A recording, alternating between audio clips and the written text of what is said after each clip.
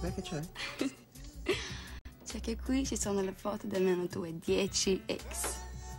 Storie antiche? Ultimi ricordi di un passato glorioso? Domani le stacco. Mi avevi promesso che ti saresti fatto il test. E lo so. E allora? Allora Lidia mi mette un po' d'ansia. L'ho fatto anche io. Ah sì? Sì, un po' di tempo fa. E come mai? Altra storia antica, evidentemente non troppo sicura. Emanuele? Sì. No, scusate. Io sono da comprare da mangiare, c'è qualcosa in particolare che vi piace? Infatti c'è accompagnare da Andrea Ma dove? a farsi il test dell'HIV. Ti va a accompagnarcelo te? Ragazzi, se non andate con nessuna categoria a rischio, non correte nessun rischio. Non esistono più da un pezzo le categorie a rischio. Se c'è una categoria che oggi è più a rischio, è proprio quella degli eterosessuali. No, la storia della categoria a rischio è sempre stato un grosso alibi. Simone non si può certo dire fosse una categoria a rischio. La unica vera categoria a rischio è quella di chi non usa la testa. Beh, a tutti noi è capitato almeno una volta di non usarla, no? A me non più.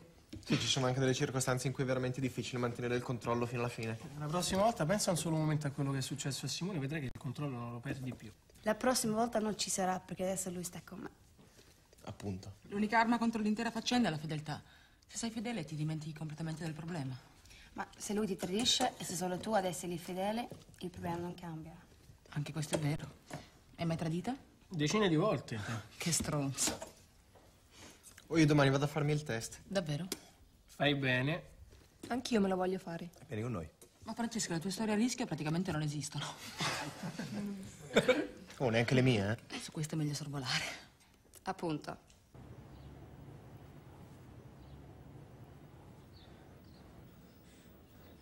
Oh, non mi va di farmelo. Cioè, sto benissimo. Sì, stai benissimo, gli ho promesso che te lo facevi il test. E mi è tornata l'ansia.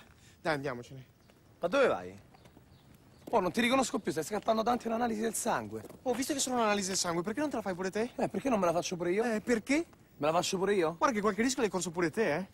Oh, c'è l'ex di Francesca. Marco. Bene, siamo venuti a trovare una nostra amica qui. Te, te come stai? Abbastanza bene, ho appena fatto il test dell'HIV. Ah, sì? Sì, mio fratello l'ha fatto la settimana scorsa e mi ha convinto pure a me.